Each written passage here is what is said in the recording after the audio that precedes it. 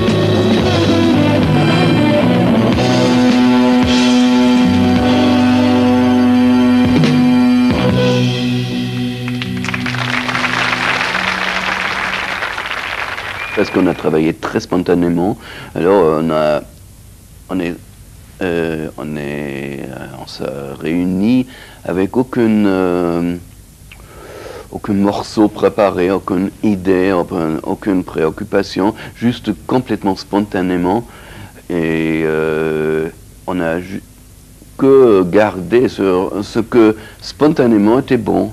On n'a jamais répété un- aucun truc. Euh, si euh, c'était même une certaine idée dedans, mais pas bien joué, on a jeté.